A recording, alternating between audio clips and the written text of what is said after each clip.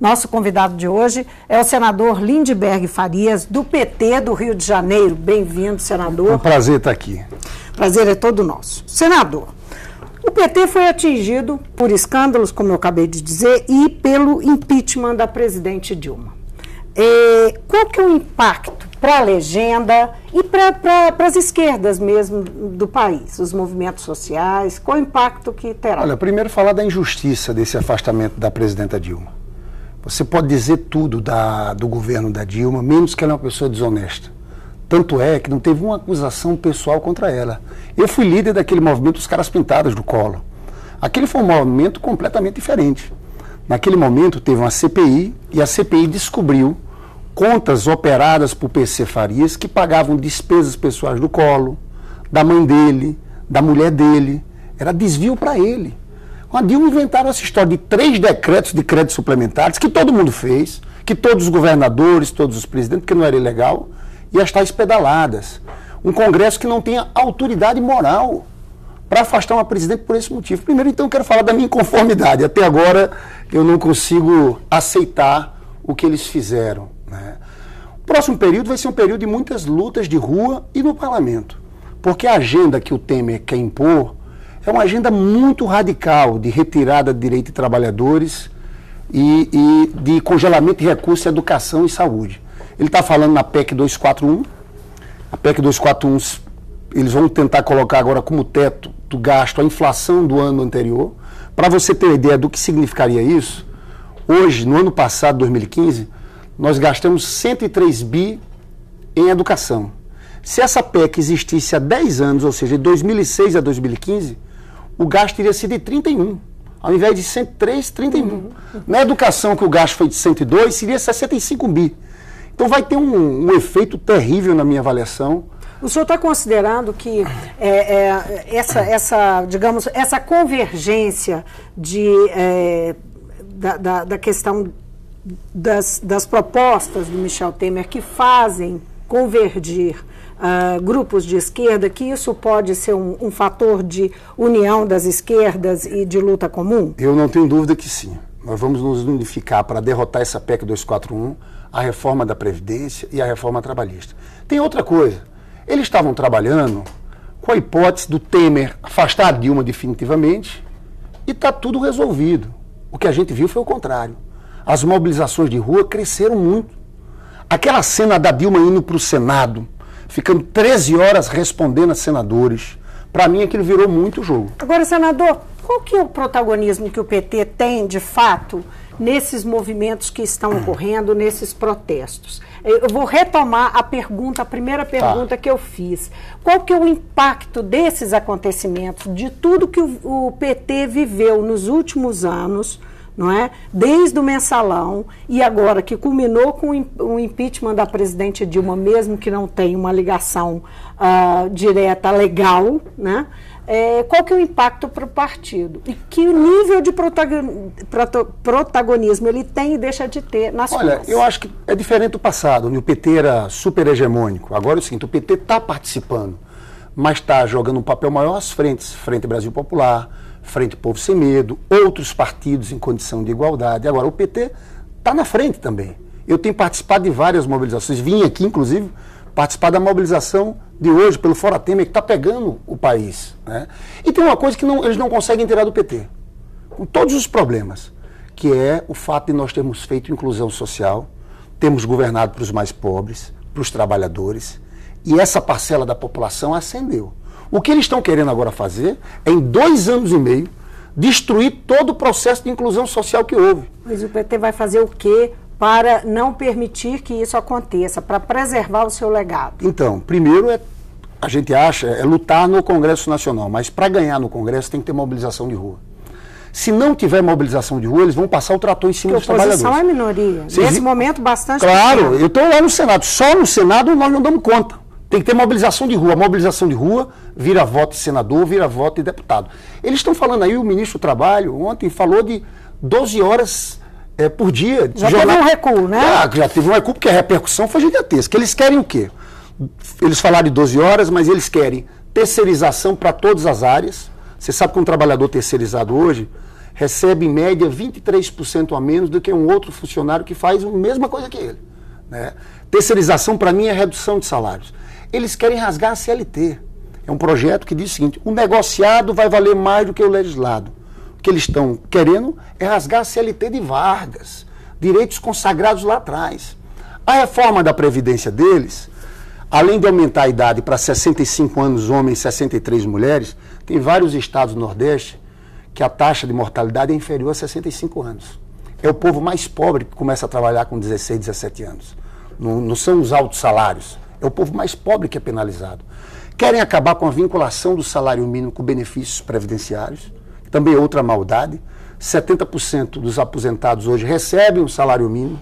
Acabar com isso, eu tenho dito muito assim, eles falam do ajuste fiscal, mas não tem uma medida para o andar de cima, para os mais ricos. Nenhuma para empresário. É, é, é, um ajuste só em cima dos pobres. Quando se fala em mexer na, na CLT, está é, tá se levando em consideração o cálculo que é feito e a forma como é apresentada, a participação fundamental nas negociações, né, nas convenções trabalhistas dos sindicatos. Qual que é a sua opinião sobre a, as estruturas sindicais hoje? Elas, inclusive, aparecem divididas neste momento político. É, não é? Você que... tem uma parcela é, da, da, do movimento sindical, a força sindical, por exemplo, que está alinhada com o governo. Não é? é, a força sindical está alinhada com o Temer desde o começo. Na verdade, aqui, o que existe, é o que está por trás desse golpe, nós estamos enfrentando uma crise econômica. E o Temer diz de forma muito clara para, as, para os grandes empresários brasileiros que a forma de aumentar a sua margem de lucro é apertar em cima dos trabalhadores. Porque você colocar um negociado na frente do legislado, o que acontece? Onde você tem sindicato forte, está tudo bem. Aí não tem problema. Só que a maior parte do país você não tem sindicatos fortes, estruturados. Você tem alguns sindicatos, inclusive, que, que são conhecidos como pelegos, que têm ligação com o setor empresarial, mas a maioria do país, os sindicatos são muito frágeis. Então você pode passar por cima da CLT. Você pode facilmente passar por cima de conquistas importantes. Férias, aumentar a jornada diária de trabalho. O vice-presidente da Fiesp, Benjamin Steinbuch, deu uma declaração, não fui eu, foi ele, dizendo que uma hora de almoço é muito. Podia ser 15 minutos.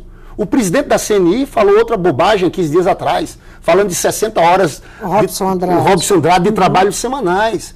Eles estão afoitos. Chegou a falar em 80. Chegou a falar em 80. Eles estão afoitos tirando o PT, você veja o que está por trás disso. Eles querem passar por cima, volto a dizer. São direitos conquistados há muito tempo. Eu tenho repetido que é como se eles quisessem de uma vez só acabar com a, o legado do Lula, do Ulisses Guimarães, da Constituição Cidadã, e do Vargas com a CLT. Agora, o, o, Partido dos Trabalhadores, ele tem uma parcela importante de responsabilidade nesse momento difícil que está vivendo. Ele entrou na política, ele foi criado com um discurso é, da, da, da, ética na política, de combate à corrupção, uh, e acabou uh, cometendo práticas não é, é que, iam, que contrariavam o, o próprio discurso. Como explicar esse rumo que o partido tomou? É. Por, o que, que aconteceu né, nesses 30 anos, 30 e poucos anos? Olha, você está certa. Nós temos que, nesse processo todo, fazer várias autocríticas no meio. Eu acho que o que a gente podia ter feito no primeiro ano do governo Lula era acabado com financiamento empresarial de campanha, que é a base de vários desses problemas que nós estamos tendo. Né? Devíamos ter feito democratização dos meios de comunicação, um bocado de coisa. Agora, veja bem. Então, o PT, quem cometeu erros tem que pagar, de qualquer partido. Agora, eles construíram uma narrativa, aqui no começo desse processo de impeachment, como se o problema fosse o PT. O PT é a organização criminosa. Essa narrativa está desfeita. Por que o PSDB? Quantos delatores falaram do Aécio Neves? Quantos falaram dos caciques do PMDB? Na verdade, esse sistema político nosso tem que ser refundado, está podre. Ele vem desses financiamentos empresariais. Isso envolveu todos os partidos. O nosso erro foi ter entrado nisso, quando podia ter feito uma reforma política e mudado a página. Agora você veja o seguinte: há um tempo atrás eles diziam que era só o PT. A nossa indignação com a cobertura da mídia é que é uma, é uma coisa seletiva. É seletivo. Quando é do PT, eles fazem uma festa. O Aécio Neves é impressionante a proteção que tem em cima de Aécio Neves nesses órgãos da imprensa e também do Poder Judiciário. Quer dizer que não vale, só vale contra o PT. Então, eu acho que nós temos que fazer a nossa parcela de autocrítica. Agora, o sistema político como um todo está podre, tem que ser refundado hum. e tem que ter uma ampla reforma política no país. Agora, é, em que medida essas circunstâncias é, contribuíram para um avanço, para uma recuperação das forças conservadoras no país? A gente ouve hoje um discurso é, conservador e mesmo reacionário muito forte claro. no país é, que a gente não escutava há 10 anos. Claro. É, de fato houve isso. Eu acho que alguns dos nossos erros deram espaço para esse pessoal crescer.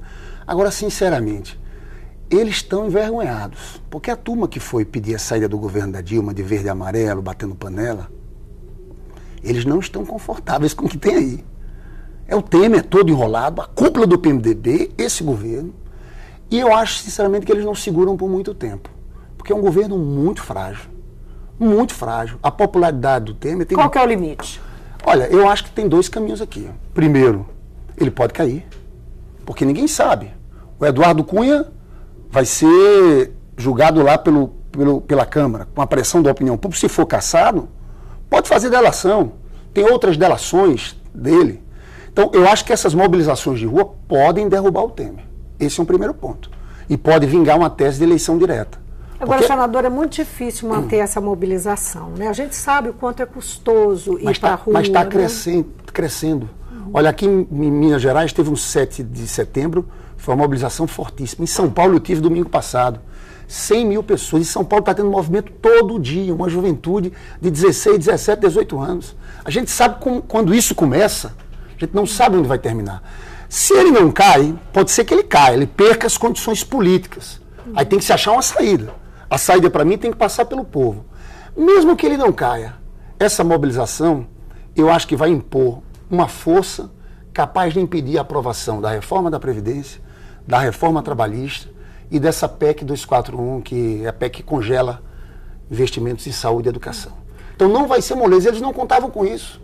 Eles não contavam com as ruas. Eles estavam achando que era tranquilo que iam tirar a Dilma, nós estávamos desmoralizados, o PT completamente sem forças, eles iam passar o projeto deles. Como é que o senhor está é assim, vendo esse clima de tensão na rua, nas ruas? Eu acho, eu acho que eles cometeram uma grande irresponsabilidade. Eu digo, inclusive, da ação policial e da, ah, da enfim. Eu acho que eles cometeram uma grande irresponsabilidade. Eles foram para um terreno agora que é de jogar um terreno de luta de classes escrachada. Empresários com trabalhadores de um jeito. E vai ter reação do outro lado. Eu participei das manifestações de São Paulo nesse último período, fui domingo lá em São Paulo.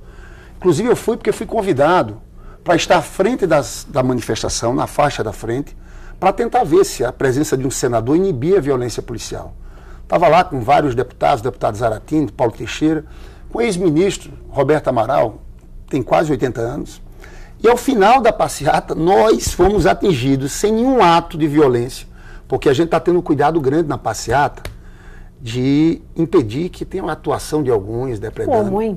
Porque é, isso é difícil de É, mas a, o pessoal do, evitar, não? do MTST, do Guilherme Boulos, da CUT, eles fizeram uma equipe de segurança lá dentro. Então eles quando veem um que vão lá, eles vão para aqui não. E tiram hum. da passeata. Isso é fundamental. Porque o que eles estão querendo do outro lado é passar a ideia de briga, de confusão, para assustar as pessoas a não hum. irem às passeatas. Então esse ato que eu participei lá no domingo não teve não teve nenhum tipo de incidente antes, não teve nenhuma provocação do lado de cá. Aí no final, na hora da dispersão, soltaram bombas em cima de mim, do ministro Roberto Amaral, de deputados. Tem uma gravação feita pelos jornalistas livres que mostra isso. Isso foi importante até para o Ministério Público, depois disso. Entrou e disse que vai acompanhar a ação Sim, policial agora Federal, nessas né? próximas. Agora, senador, ainda retomando aquele rumo da conversa sobre é, o, o, futuro do PT, esse é um ano eleitoral. Né? Há prognósticos ah, mais é, graves assim em relação a, a, a, ao desempenho do partido nesse ano, que ele pode sofrer uma grande derrocada e é, um, uma derrota e que, que ameace até a sobrevivência dele mais para frente. Como é que o senhor enxerga isso? Como é que dentro do partido está sendo, está em discussão? Como eu é que está sendo eu tratado? Eu acho que as análises são precipitadas. Eu, sinceramente, se esse pessoal vem com esse projeto todo de retirada de direito de trabalhadores, eu digo uma coisa a você. 2018 nós vamos estar disputando para ganhar novamente a eleição. Essa é a minha Eu acho então que isso. Eu acho que, veja bem. Rearticula, rearticula. forças. O PS, eu vou dizer uma coisa: tem um partido que perdeu mais do que o PT nesse processo todo. PSDB. Eles, eles em 2015, eles achavam que a disputa era Écio, Alckmin e Serra. Estavam todos. Acabaram entrando nessa aventura do impeachment, perderam em popularidade e hoje eles são sócios minoritários de um governo que é o governo do Temer, que é um governo fraco, que não vai tirar o país da crise. Mas você acha que eles tiveram a popularidade testada como? Tem pesquisas. O Aécio em 2015 tinha 30 e tantos, agora está batendo 14, 13 é, caiu, também teve as delações. Eles saíram da situação. Então, veja bem, se eles estão todos juntos no governo do Temer. Se o governo do Temer não vai bem, eles não têm condições de disputar com um candidato competitivo. Que vai ser difícil dizer, ah, não tenho nada a ver com isso. Então, eu acho que nós vamos ter uma mudança no quadro, uma virada muito grande. Eu acho que já está acontecendo. Eu te falo o seguinte, até pessoalmente. Seis meses atrás, nós do PT tínhamos um tratamento das pessoas nas ruas e agora já é outro. E acho que a semana do impeachment foi muito importante. Mas tem também evidências aí de, né, nós tivemos aí um candidato do PT é, que foi agredido fisicamente, é, não tá é mudando, nessa, nessa tá quinta-feira, Mas está né? mudando muito. Porque é o seguinte, eu acho que aquela cena da Dilma entrando ali, na semana eu acho que muita gente que estava por fora desse processo do impeachment hum. entendeu que aquilo era uma injustiça. Então eu sou muito otimista quanto ao futuro do PT. Enganam-se os que acham que com esse processo estão acabando com o. Agora, senador, tem alguma possibilidade de haver algum projeto comum que surja dessa união das esquerdas em torno dessas causas, não é? contra as medidas impopulares do governo Temer, é, pode vir aí um, um projeto comum? O, o ex-presidente Lula chegou a falar numa frente para 2018. Qual, é, como é que se vê um cenário desse, a possibilidade? Olha, veja bem, esse golpe que a gente chama do golpe não é só afastamento da presidenta Dilma. A gente tem que ver os próximos passos. É, eu acho o seguinte: o nome mais forte que nós temos é o Lula. Mas eles sabem disso. E por isso estão tentando, de toda forma, pegar alguma coisa do Lula para tentar impedir o Lula de ser candidato. Né? E eles estão fazendo. A expectativa é prender o Lula. O que, o que é tem... dito sempre é que é, o Lula pode ser preso. É uma campanha. Eles, eles, eles, fazem, eles fazem o seguinte: eles procuram de tudo é como se tivesse toda uma força-tarefa tentando achar alguma coisa. E até agora não acharam nada. Não acharam nada. Mas eles querem tirar o Lula, porque o Lula é uma ameaça. Porque o Lula ainda simboliza. O Lula ainda simboliza o povo trabalhador nesse país. Enquanto o Lula for vivo, é difícil aprovar essa reforma previdenciária, essa reforma trabalhista. Agora, o Lula então, também tem hoje, pre... por tudo isso, uma grande rejeição. É, seria possível o Lula disputar em 2018 ah, e reverter o, o Lula hoje, O Lula hoje está na frente, hum. sem só apanhando, sem falar nada, com a imprensa no massacre. Quando ele começar na televisão falar do que ele fez, de como melhorou a vida do povo, do que ele fez das várias áreas sociais, isso é muito forte. Então eu acho que prender não tem como prender. Mas eles podem, por exemplo, tentar julgar ele, primeira e segunda instância, para ele não poder ser candidato. Hum. Eles podem tentar fazer isso. Agora o partido está pensando em alternativa. O Lula hum. já tem 70 anos, viveu o que viveu, tem uma história né? é, é, temos... importante. O partido não pensa numa alternativa? Não, nós podemos ter alianças, procurar outros nomes. Né? Você veja, o PDT lançou o nome do Ciro Gomes, tem que conversar com o PSOL, com o PCdoB, podem surgir outros nomes. Então Mas essa fato, frente é possível? É possível. O fato é que não tem um nome natural. Nós não conseguimos construir nesse período uma alternativa ao Lula. O Lula ainda é o nosso único grande nome para ganhar uma eleição. Né? Por isso que eu digo, esse golpe, estão falando o seguinte, eleição de 2018, tem uns, tem uns que dizem, só se tirar o Lula. Tem gente falando em parlamentarismo. Por que o parlamentarismo? O parlamentarismo você tira o povo do processo. O que eles estão querendo com tudo isso é tirar o povo do processo. Porque o povo pensa diferente das elites da Avenida Paulista. O povo quer mais saúde, quer mais educação, e eles querem outra coisa. Eles querem um ajuste fiscal de longo prazo. Eles querem. Então, veja bem, eu estou convencido que o que está por trás de todo esse golpe é você dar uma certa pausa democrática, tirar o povo, já que eles perderam quatro eleições, eles estão querendo agora é, impor o seu programa. Foi por isso o motivo do golpe. Ninguém seria eleito com essas propostas. Mas, senador, é, nós estamos assim poucos dias após né, o impeachment propriamente dito, o senhor esteve na linha de frente Isso. quase o tempo todo. né, o, o, tempo todo, até onde a gente pode ver nessa, nessa batalha que foi no Senado o processo final do, do impeachment. É, qual que é o sentimento? É um sentimento de ressaca que fica depois de, de tudo que se viveu? Enfim, é, o senhor disse que é otimista, mas qual o sentimento que fica depois Olha, de claro que um, um, julgamento desse? Claro que a gente sai com um sentimento de muita injustiça que foi cometida, em especial com uma mulher contra Dilma. Mas eu diria que é o recomeço. Eu não parei, inclusive, para descansar, porque está tendo tantas mobilizações. Né? E eu acho, sinceramente, que a gente pode retomar uma ofensiva no curto prazo de tempo. Esse pessoal foi muito irresponsável. Eles deram um golpe sem base jurídica alguma, com as digitais de Eduardo Cunha. Formaram um governo que esse governo, Temer, Gedel, Eliseu Padilha, essa turma não tem estatura para comandar o país. Então fizeram tudo de uma forma tal que, infelizmente, vão colocar o país num impasse. Porque não tem como recuperar a economia com esse plano do Temer. Hoje o prioritário, sabe o que seria? Você está discutindo medidas para a economia voltar a crescer. Mas eles vêm com um plano de austeridade em longo prazo que vai piorar a situação econômica. Então, eu diria que, do nossa parte, tem um recomeço. No meio da derrota, a gente sai com mais força, com mais vitalidade, organizando essas manifestações para tentar impedir retirada de direitos. E eu acho que a gente vai reacumular forças rapidamente. Sinceramente, eu acho que até 2018 nós estamos hum. com muita força para voltar a dirigir esse país. O senhor permaneceu no partido no meio desse enfim, de, de todo esse burburinho, de todas é. essas dificuldades. Permanece, vai ficar? Permaneço, eu não sou de abandonar o barco no meio da tormenta, não. Pelo contrário, nessa hora que a gente tem que estar junto, corrigir os erros, mas pensar o futuro. E eu acho, tenho uma certeza, essa direita brasileira é tão irresponsável do ponto de vista social que um governo dela vai aumentar a desigualdade, vai aumentar o desemprego. Nós temos que fazer o quê? Nos preparar para voltarmos bem melhores, corrigindo vários erros que que houve nesse período todo, de várias práticas que não deveríamos ter entrado, e com a política mais clara.